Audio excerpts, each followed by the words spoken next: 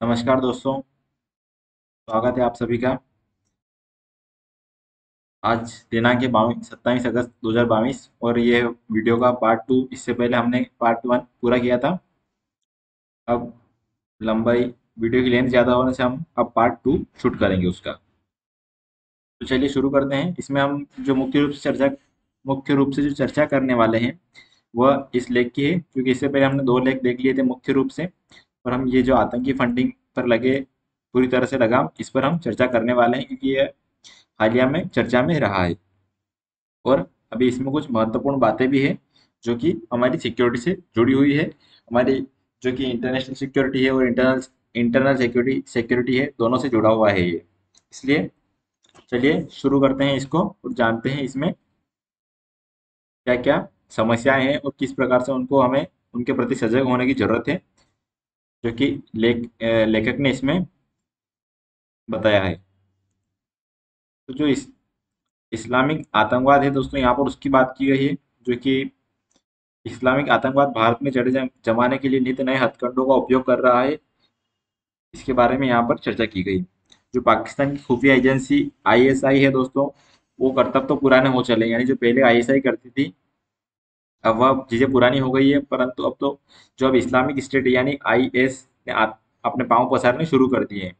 IS यानी आप समझते हैं इस्लामिक स्टेट है, जो कि तुर्की में इसका मुख्य रूप से इसका स्थित है, ऐसा इसको कहते हैं कि तुर्की में इसका मुख्य अड्डा है। और यहाँ पर हम देखते हैं जो लेख है, इसमें भी ज़्यादा महत्वपूर्ण चीज़ें नहीं है, सारी इन दोनों लेख में एक जैसी है।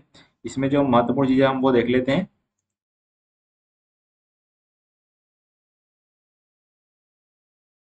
यहाँ पर देख सकते हैं आप, आतंकवादी इस्लामिक स्टेट आईएस के खुरासान प्रांत से संबंधित है और तुर्की में स्थित है। यानी कि ये तुर्की में इस्लामिक संगठन के एक आतंकवादी मतलब इसका मुख्य रूप से जो, इसका मुख्य रूप से जो स्थान है वो तुर्की में स्थित है, खुरासान प्रांत में और वहीं पर इसकी आतंकवादी गतिविधियाँ चलती है।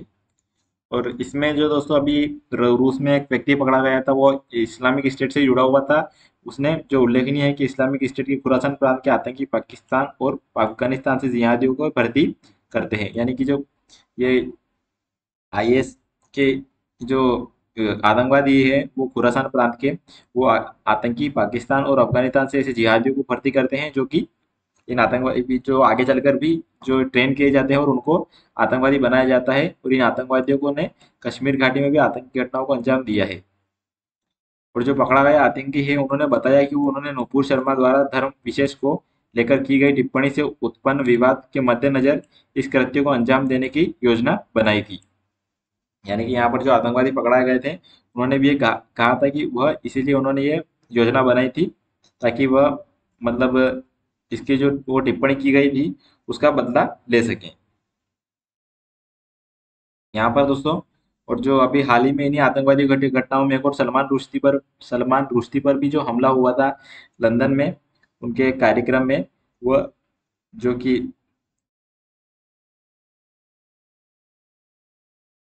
जहाँ पर वो अपना एक प्रोग्राम कर रहे थे, उस, उनकी जो पुस्तक है जो कि 1988 में प्रकाशित हुई थी उपन्यास द सेनेटिक वर्सेस को लेकर, वो विवाद के कारण उन पर हमला हुआ था।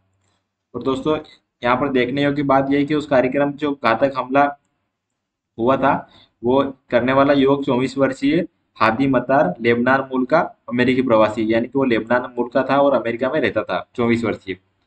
और यहाँ पर एक और बात यह है कि जब सलमान रुश्ती के उपन्यास के प्रकाशन के समय उसका जन्म भी नहीं हुआ था, यानी कि जिस प्रकार से उसकी उसका जब जब ये उपन्यास प्रकाशित हुआ था, तब तक तो उसका जन्म भी नहीं हुआ था और ना ही उस पर उसने इसके बारे में पढ़ा होगा पहले। परंतु न ही इस उपन्यास का उसके जीवन पर कोई प्रत्यक्ष या परोक्ष प्रभाव पड़ा होगा।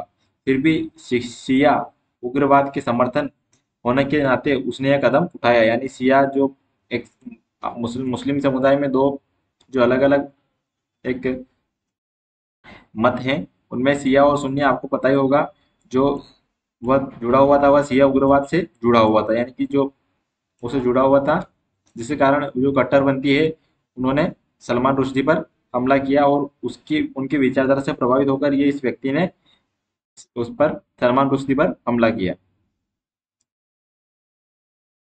हमने तो दोस्तों यहाँ पर जान लिया कि किस प्रकार से जो उग्रवाद है, वह व्यक्ति के विचारों को प्रभावित करता है, और जो कट्टरपंथ है, वह व्यक्ति को किस हद तक प्रभावित करता है, जो कि हमने यहाँ देखा इस व्यक्ति के संदर्भ में। जिसका उस समय से या फिर उससे कोई प्रत्यक्ष परोक्ष ना तो जुड़ाव था, ये ना उस पर, उसका कोई उस पर प्रभाव था। फिर भी उस विचारधारा के अधीन, उस विचारधारा को मानकर वह वह कार्य करने के लिए इतना प्रभावित हुआ कि वह वह कार्य उसने अंजाम दिया, उस कार्य को, यानी कि सलमान रुश्दी पर हमला किया।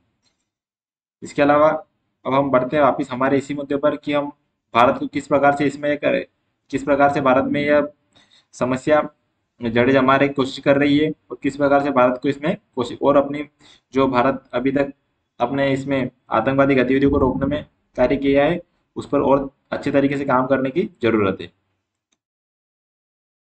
अब यहाँ देखें तो रूस की शीर्षस्थ खुफिया एजेंसी का कहना है कि मध्य एशियाई देश के, इस आतंकी यानी मध्य एशियाई यानी मैं यहाँ पर आतंकी को अप्रैल में ही तुर्की में आई एस की तरफ़ से आत्मघाती हमला यानी मानव भाव के रूप में हमला करने के लिए प्रशिक्षित किया गया यानी तुर्की है जो कि अभी तुर्की जो अभी तुर्की नाम से जाना जाता है, वहाँ पर इसको प्रशिक्षित किया गया था अप्रैल में।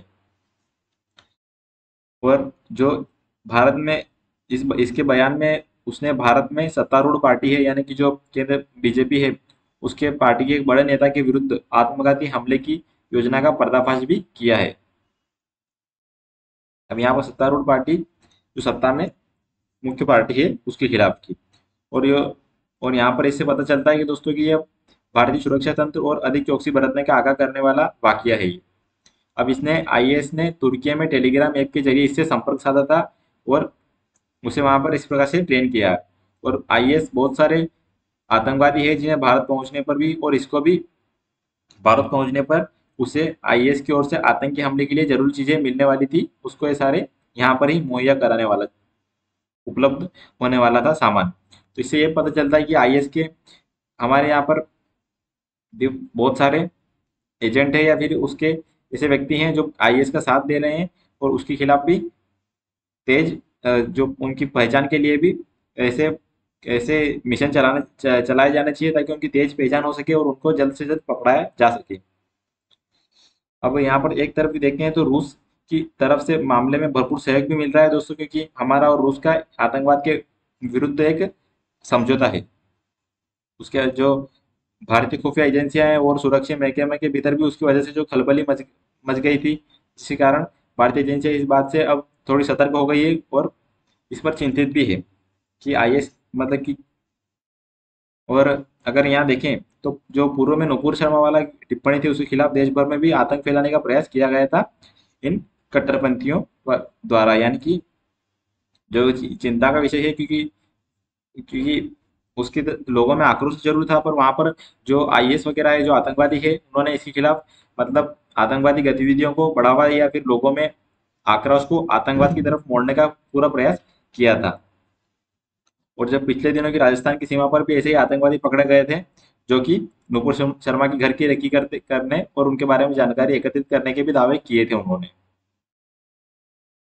और आईएस जैसे खूंखार आतंकी संगठनों के लिए विदेशी फंडिंग के नेटवर्क का पर्दाफाश भी भारत की चिंता बढ़ा देता है। यानी कि जो भी विदेशी फंडिंग की पर्दाफाश, विदेशी फंडिंग का भी अभी मामले आए थे, जिसमें जो कि पीएफआई है, उसका नाम भी आया है और कुछ बिहार से भी जो व्यक्ति पकड़े गए थे, जो अभी खबरों में था जुलाई में जुलाई के माह तक जुलाई जून जुलाई के माह में उसमें भी जो फंडिंग आई थी उससे पता चल रहा था कि, कहाँ से कहाँ तक फंडिंग हो रही है और बहुत सारे लोगों पर उस समय कार्रवाई की गई थी एनआईए द्वारा।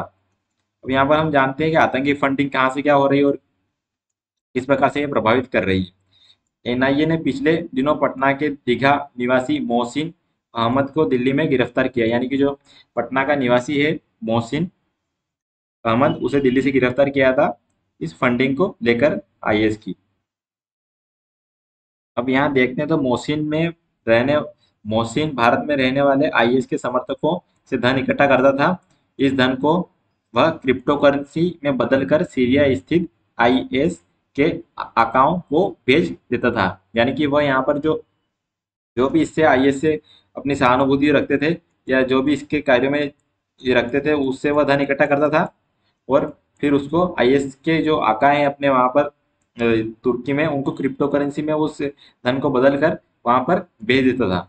जिससे कि जिससे कि वहाँ पर जो उनको है मतलब जो जो धन संबंधी जरूरतें हैं, वो पूरी की जा सके और जहाँ पर भी उनके व्यक्ति और जो लोग लगे हुए हैं इस कार्य में, उनको एक पैसे प्रोवाइड किया जा सके या वहाँ पर वित्त सहायता उनको दी जा सके। अवे जो कि आतंकवादी गतिविधियों को फैलाने के लिए।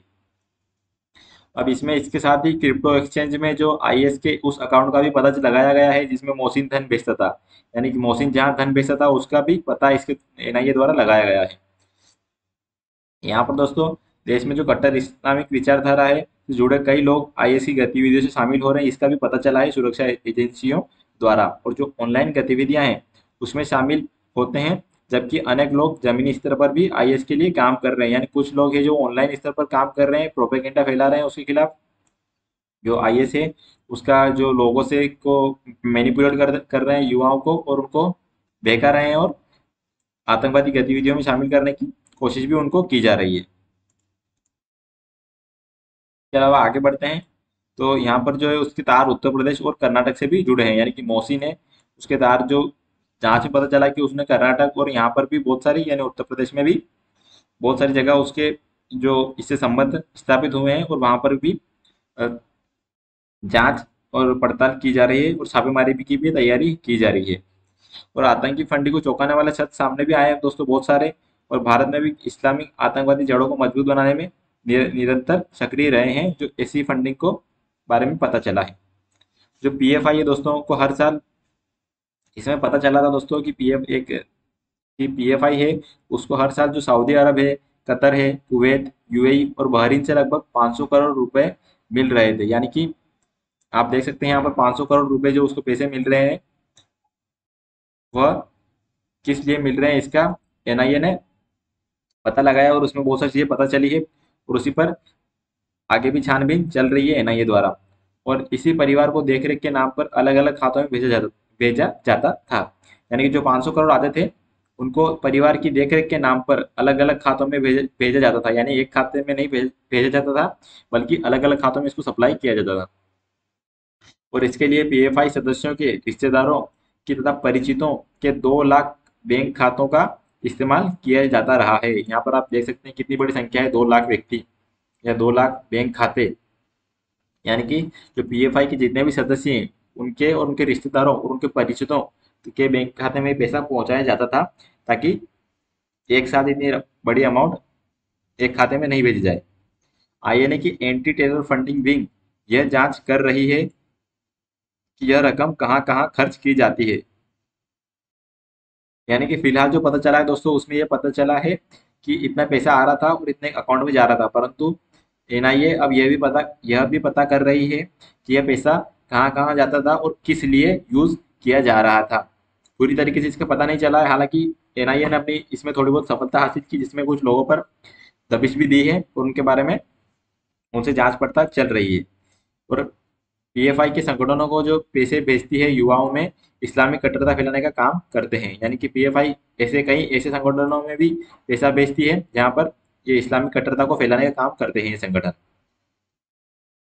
इसमें अनेक संगठन मुस्लिम युवाओं का ब्रेन वॉश कर उन्हें कट्टर भी बना रहे हैं और जो पीएफआई है, वो मुस्लिम विरोधी कतिपय सरकारी नीतियों को चिन्हित करती है और उनके विरुद्ध आंदोलनों को उकसाती तथा आंदोलनकारियों पर खूब खर्च भी करती है। अब यहाँ आप देख रहे होंगे, आप P F I P F I बहुत जगह आ रहा है तो हो सकता है किसी को नहीं पता हो तो हम यहाँ पर देखते हैं दोस्तों पी एफ़ आई के बारे में थोड़ी सी हम जानकारी देख लेते हैं कि क्या है पी एफ़ आई दोस्तों पॉपुलर फ्रंट ऑफ़ इंडिया यानी कि जो मुख्य रूप से पी एफ़ आई के रूप में भी जाना जाता है इस संक्षिप्त रूप में, जो भारत का एक चरमपंथी इस्लामिक गठबंधन है। अब इसको गठबंधन ये कहते हैं, वो क्योंकि हम एक हम अच्छे कार्यों के लिए इकट्ठा हुए हैं और मतलब ये कहते हैं कि मतलब स्वतंत्र, न्याय और सुरक्षा सुनिश्चित सुनिश्चित करने के लिए, सशक्त बनाने के लिए प्रतिबद्ध स्वयं को कहते हैं। परंतु जो 2006 में नेशनल, परंतु जो सरकार है, उसके द्वारा राष्ट्र विरोधी और असामाजिक गतिविधियों में शामिल होने का आरोप इस पर लगाया गया है। 2006 में दोस्तों, नेशनल डेवलपमेंट फ्रंट के उत्तराधिकारी के रूप में इसे गठित किया गया था। और इसकी बहुत सारी विंग्स भी है दोस्तों, जिसमें कि राष्ट्रीय महिला मोर्चा और कैंपस फ्रंट ऑफ़ इंडिया सहित समाज के विभिन्न वर्गों को पूरा करने के लिए, वर्गों को पूरा करने के लिए संगठन के पास विभिन्न विंग है। इसमें दोस्तों, केरल और कर्नाटक अक्सर पीएफआई के संघ परिवार के कार्यकर्ताओं के बीच हिंसक झड़पें होती रही। और इन पर बहुत सारे पीएफआई कार्यकर्ताओं को पुलिस द्वारा घातक हथियार, बम बारूद, तलवारें भी मिली है, यानी पीएफआई वालों से हथियार और बम बारूद, तलवारें भी मिली है, जो उनकी जाँच में पाई गई थी या इनकी छापेमारी में पाई गई थी। और जो उन पर तालिबान और अलकायदा जैसे आतंकवादी संगठनों के साथ संबंध होने के कई आरोपी लगाए गए हैं। हालाँकि इसमें एक बात यह भी है दोस्तों कि 2012 में जो केरल सरकार द्वारा पीएफआई द्वारा आयोजित फ्रीडम परेड पर भी प्रतिबंध लगा दिया गया था। दोस्तों एक छोटी सी जानकारी थी पीएफआई के बारे में कि पीएफआई क्या है? पॉपुलर फ्रंट ऑफ़ इंडिया एक चरमपंथी इस्लामिक गठबंधन है भारत का। और यह इस पर सरकार द्वारा आरोप लगाए गए हैं और एनआईए की जाँच में भी इसमें कुछ बातें सामने आई है कि जो 500 करोड़ की फंडिंग होती है 500 उसमें यह बहुत सारे ऐसे संगठनों को भेजता है पीएफआई पैसे, जो कि एक कट्टरपंथी इस्लामिक संगठन है और लोग, युवाओं को ब्रेन वॉश कर रहे हैं और कट्टरपंथा फैला रहे हैं। अब जेल में बंद आतंकवादियों की कानूनी लड़ाई में मोर्चे पर भी पीएफआई का विदेश से एकत्रित धन खर्च किया जाता है। यानी कि यह भी देखा गया है दोस्तों, जाँच में जो पीएफआई है, वो जो आतंकवादी हैं जेलों में बंद, कानूनी, उनके कानूनी लड़ाई में भी ये खर्चा मुहैया कराती है। और ईडी ने इसी साल जून में मनी लॉन्ड्रिंग का मामला दर्ज करते हुए पीएफआई और उसके एक सहयोगी संगठन के 33 बैंक खाते सील किए हैं। यानी कि ईडी ने भी इसी साल जून में जो मुख्य रूप से मामला सामने आया था बिहार में यहाँ पर, जो कि उसी में उसके तहत जाँच करते हुए बहुत सारे तैतीस खाते भी इसके सील किए थे सहयोगी संगठनों के।